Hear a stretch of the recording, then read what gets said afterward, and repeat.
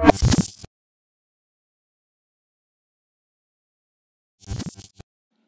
hello YouTube. I'm Karan from India, and in this video, we're going to talk about how to create simple but advanced batch menu options. And to do this purpose, we have CMD menu select plugin, and today we're going to talk about that plugin only. So, CMD menu select is compiled and created in C++. It is of only 965 KBs of batch plugin which is quite large number. But the amount of work it reduced worth that amount of size.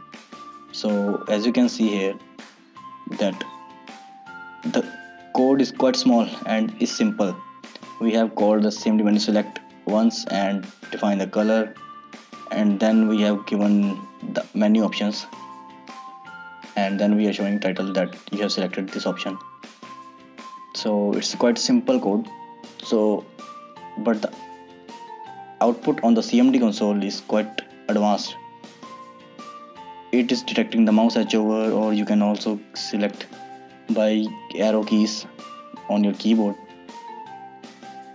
And that's quite awesome so select any one of these option. I want to hail hydra. So hail hydra.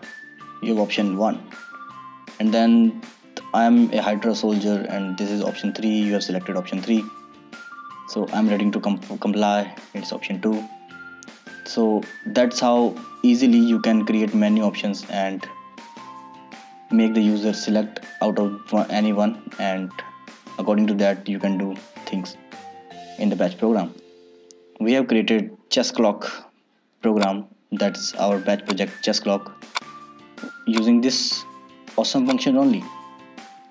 CMD menu select in the advanced chess clock. So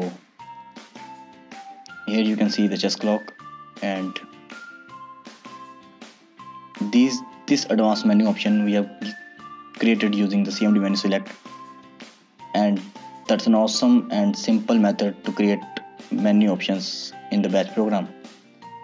And according to the click you can do different things on the CMD console that that's for example that what I have displayed a dialog box which is trying to take my user input and work according to like that. So you can download this plugin and the project from the link given in the description. That's our website is the www.thebateam.org the usage is quite simple and you can you simply need to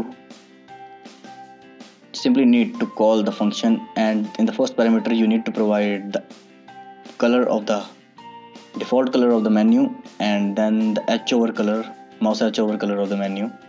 And then you can simply define the menu options surrounded by the double quotes.